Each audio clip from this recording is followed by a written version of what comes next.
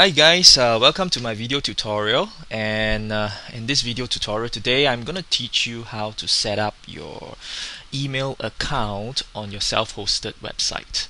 Now, what you see on my screen right now is the HostGator control panel. So go ahead and uh, log into your HostGator control panel or the control panel that uh, you're using with your web host. So for the purpose of demonstration here, I have HostGator.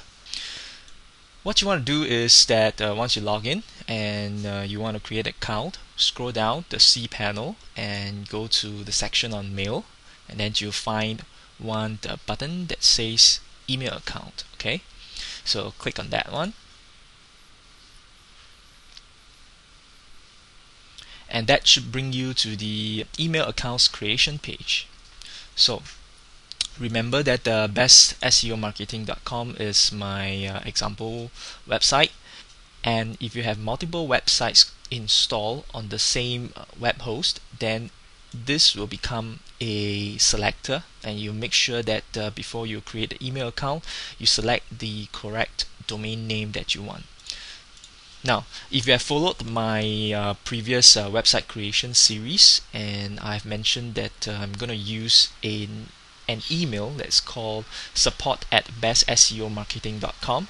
So it has to be created on your um, web host using the cPanel. If not, uh, it could not be used.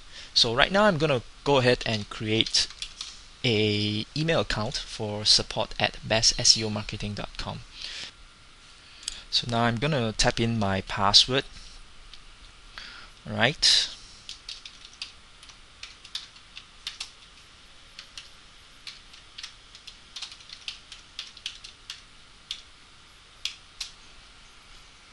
And then you can uh, click on create account. As you scroll down you can see that uh, the account has been created and it's showing up here support at bestseomarketing.com and if you want to create a uh, multiple different emails and you can actually repeat the process again and again and um, you can actually use all those emails that you want so that's all for creating um, emails using your control panel. And I hope you have learned something. Bye for now.